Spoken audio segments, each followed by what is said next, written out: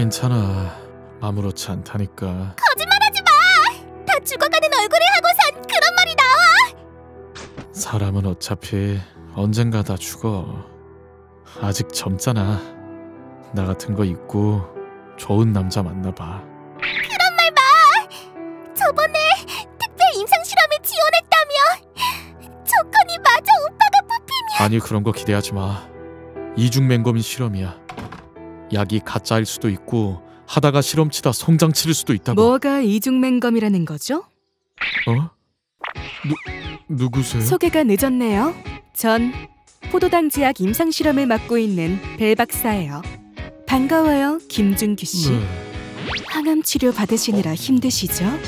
젊은 나이에 전립선 암이라니 안타깝네요. 네.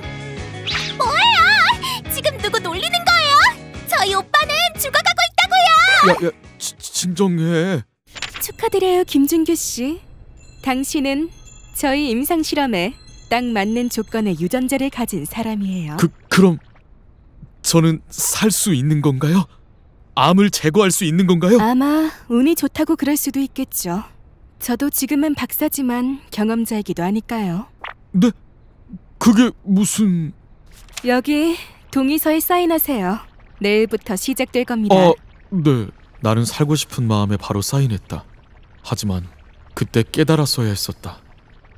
그 박사의 명찰이 남자였단 사실을. 그 이후 난 이곳저곳에 끌려다니며 온갖 실험과 약품의 대상이 되었다.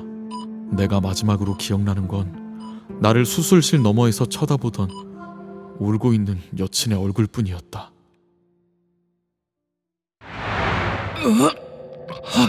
괴로워.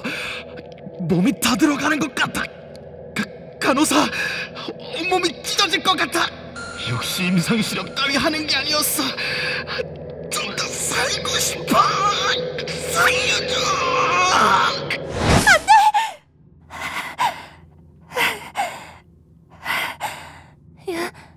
여긴 대체... 그리고 저 모습은... 아, 내 목소리가...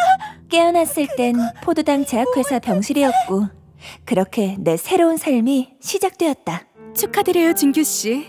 암은 물론이고 빠졌던 머리까지 다시 나고 젊어지기까지 했으니 최고의 엔딩이네요. 아, 네. 이걸 잘 됐다고 해야 할지. 하늘이 도왔지, 오빠. 나랑 이제 평생 오래오래 같이 살자. 다행이에요.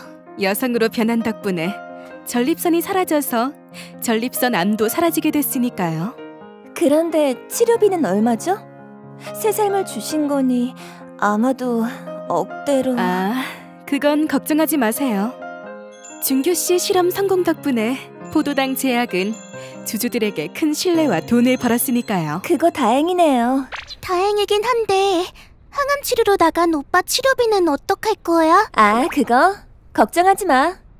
이럴 줄 알고 포도당 제약 주식에 내 돈이랑 가족 아파트까지 해서 싹 다 넣어놨지. 사랑해 오빠. 오빤 역시 내 남자친구야. 어, 근데 난 이제 여자인데. 잘들 노네.